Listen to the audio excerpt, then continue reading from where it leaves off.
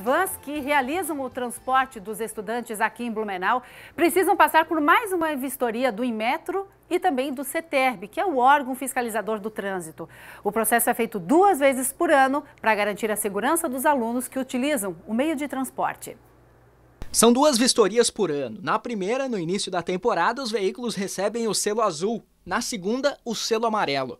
As vistorias iniciaram na última segunda-feira e vão até o dia 27 deste mês. O objetivo desse tipo de fiscalização é que é um transporte de crianças. Então a gente tem que ter todos os cuidados possíveis, tá? até porque é a força de legislação. Mas o CETERB tem a função de fazer esse trabalho com muita eficácia, porque é um trabalho que transporta crianças. Mas antes de passar por essa vistoria aqui no CETERB, os veículos são inspecionados por empresas credenciadas pelo Inmetro, que avaliam a parte mecânica das vans. O que o CETERB verifica aqui?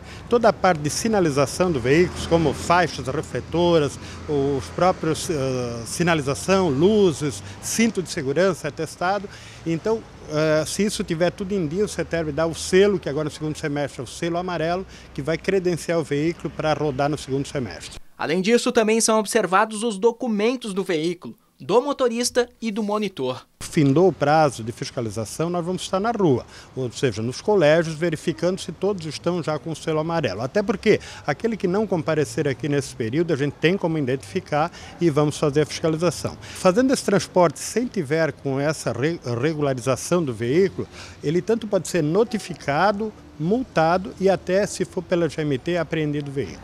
As vistorias ocorrem de segunda a sexta, das 8 ao meio-dia e no período da tarde, até às 5 e meia, na sede do CETERB, anexo à rodoviária de Blumenau.